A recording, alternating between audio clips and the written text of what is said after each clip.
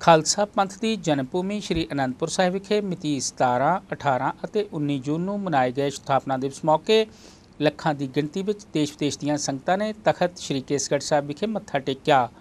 ਇਸ ਪਵਿੱਤਰ ਨਗਰੀ ਦੀ ਸਥਾਪਨਾ 19 ਜੂਨ 1665 ਈਸਵੀ ਨੂੰ ਸ੍ਰੀ ਗੁਰੂ ਤੇਗ ਬਹਾਦਰ ਸਾਹਿਬ ਜੀ ਨੇ ਆਪਣੀ ਮਾਤਾ ਨਾਨਕੀ ਜੀ ਦੇ ਨਾਂ ਤੇ ਕੀਤੀ ਸੀ। ਇਸ ਵਾਰ ਸ੍ਰੀ ਅਨੰਦਪੁਰ ਸਾਹਿਬ ਦੇ ਸਥਾਪਨਾ ਦਿਵਸ ਮੌਕੇ ਮਹਾਨ ਸਮਾਗਮ ਕਰਵਾਏ ਗਏ।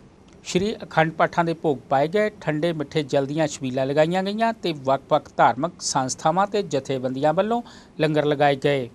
ਇਸੇ ਤਹਿਤ ਹੀ ਹੁਸ਼ਿਆਰਪੁਰ ਜ਼ਿਲ੍ਹੇ ਦੇ ਪਿੰਡ ਤਲਵੰਡੀ ਅਰਾਈਆਂ ਦੇ ਗੁਰਦੁਆਰਾ ਸ਼ਹੀਦ ਬਾਬਾ ਦੀਪ ਸਿੰਘ ਜੀ ਦੇ ਮੁੱਖ ਸੇਵਾਦਾਰ ਬਾਬਾ ਹਰਦੇਵ ਸਿੰਘ ਜੀ ਵੱਲੋਂ ਸਥਾਪਨਾ ਦਿਵਸ ਮੌਕੇ ਲੰਗਰਾਂ ਦੇ ਪ੍ਰਬੰਧ ਕੀਤੇ ਗਏ। ਜ਼ਿਕਰਯੋਗ ਹੈ ਕਿ ਬਾਬਾ ਹਰਦੇਵ ਸਿੰਘ ਜੀ ਵੱਲੋਂ ਸ਼੍ਰੀ ਅਨੰਦਪੁਰ ਸਾਹਿਬ ਵਿਖੇ ਮਨਾਏ ਜਾਂਦੇ ਹਰ ਸਮਾਗਮ ਮੌਕੇ ਲੰਗਰਾਂ ਦੀ ਸੇਵਾ ਕੀਤੀ ਜਾਂਦੀ ਹੈ। ਸਥਾਪਨਾ ਦਿਵਸ ਸੰਬੰਧੀ ਕਰਵਾਏ ਗਏ ਸਮਾਗਮਾਂ ਦੇ ਤਿੰਨੋਂ ਦਿਨ ਲੰਗਰ ਅਤੁੱਟ ਵਰਤਾਏ ਗਏ ਅਤੇ ਠੰਡੇ ਮਿੱਠੇ ਜਲ ਦੀਆਂ ਛਬੀਲਾਂ ਲਗਾਈਆਂ ਗਈਆਂ।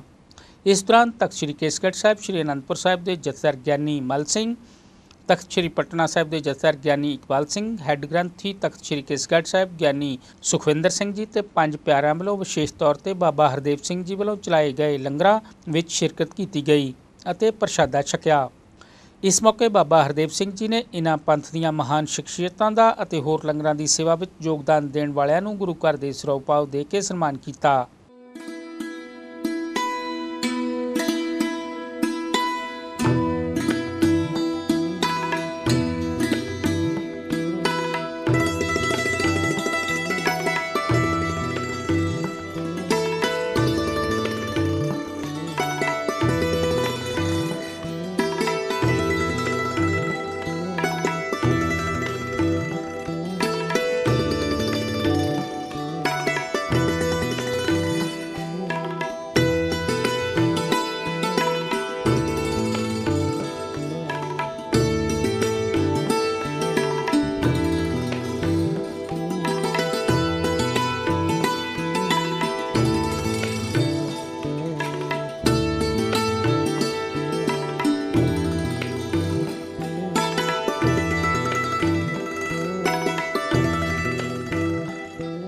ਗਿਆਨੀ ਮਲ ਸਿੰਘ ਜੀ ਤੇ ਹੈੱਡ ਗ੍ਰੰਥੀ ਗਿਆਨੀ ਸੁਖਵਿੰਦਰ ਸਿੰਘ ਜੀ ਨੇ ਗੱਲਬਾਤ ਕਰਦਿਆਂ ਬਾਬਾ ਹਰਦੇਵ ਸਿੰਘ ਜੀ ਵੱਲੋਂ ਕੀਤੇ ਜਾ ਰਹੇ ਉਪਰਾਲਿਆਂ ਦੀ ਸ਼ਲਾਘਾ ਕੀਤੀ।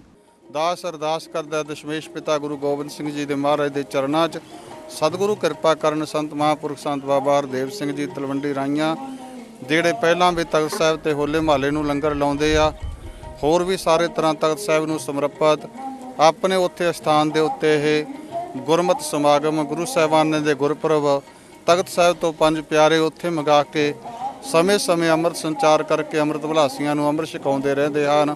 ਸਤਿਗੁਰੂ ਅੱਗੇ ਅਰਦਾਸ ਆ, ਸਤਿਗੁਰੂ ਇਸੇ ਤਰ੍ਹਾਂ ਇਹਨਾਂ ਮਹਾਂਪੁਰਖਾਂ ਨੂੰ ਤੰਦਰੁਸਤੀ ਬਖਸ਼ਿਸ਼ ਕਰਨ, ਚੜ੍ਹਦੀ ਕਲਾ ਵਿੱਚ ਪੰਥ ਦੀਆਂ ਤੇ ਤਖਤ ਸਾਹਿਬਾਨੀ ਨੂੰ ਸਮਰਪਿਤ ਸੇਵਾਵਾਂ ਸਤਿਗੁਰੂ ਲੈਂਦੇ ਰਹਿਣ। ਦਾਸ ਵੱਲੋਂ ਸਤਿਗੁਰਾਂ ਦੇ ਚਰਨਾਂ ਦੇ ਵਿੱਚ ਬੇਨਤੀ ਕਿ ਸਤਿਗੁਰੂ ਜੀ, ਆਪ ਜੀ ਕਿਰਪਾ ਕਰੋ, ਮਿਹਰ ਬਖਸ਼ਿਸ਼, ਰਹਿਮਤ ਕਰੋ।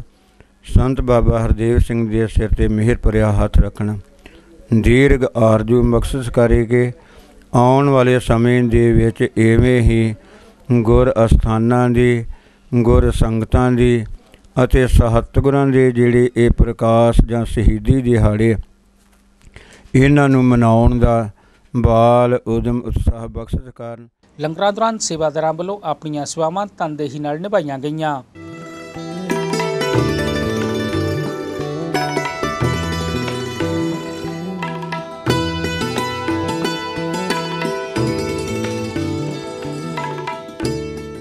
ਬਾਬਾ ਹਰਦੇਵ ਸਿੰਘ ਜੀ ਨੇ ਗੱਲਬਾਤ ਕਰਦਿਆਂ ਲੰਗਰਾਂ ਦੀ ਸੇਵਾ ਵਿੱਚ ਯੋਗਦਾਨ ਦੇਣ ਵਾਲਿਆਂ ਦਾ ਧੰਨਵਾਦ ਕੀਤਾ ਅਤੇ ਸ੍ਰੀ ਅਨੰਦਪੁਰ ਸਾਹਿਬ ਜੀ ਦੇ 350 ਸਾਲਾ ਸਥਾਪਨਾ ਦਿਵਸ ਦੀਆਂ ਵਧਾਈਆਂ ਦਿੱਤੀਆਂ। ਸਾਢੇ 300 ਸਾਲਾ ਸਥਾਪਨਾ ਦਿਵਸ ਨੂੰ ਮੁੱਖ ਰੱਖਦੇ ਹੋਏ ਬਾਹਰਲੀਆਂ ਪ੍ਰਦੇਸ਼ਾਂ ਦੀਆਂ ਸੰਗਤਾਂ ਦੇ ਸਹਿਯੋਗ ਦੇ ਨਾਲ, ਇਲਾਕੇ ਦੀਆਂ ਸੰਗਤਾਂ ਦੇ ਨਗਰ ਦੇ ਸਹਿਯੋਗ ਦੇ ਨਾਲ, ਜੋ ਸੇਵਾਦਾਰਾਂ ਦੇ ਨਾਲ ਬਹੁਤ ਪ੍ਰਬੰਧ ਕੀਤਾ ਹੈ।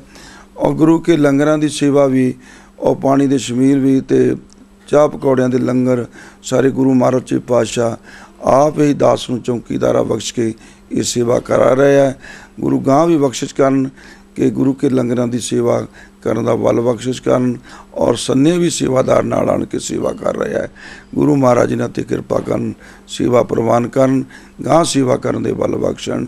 ਵਾਹਿਗੁਰੂ ਜੀ ਕਾ ਖਾਲਸਾ, ਵਾਹਿਗੁਰੂ ਜੀ ਕੀ ਫਤਿਹ।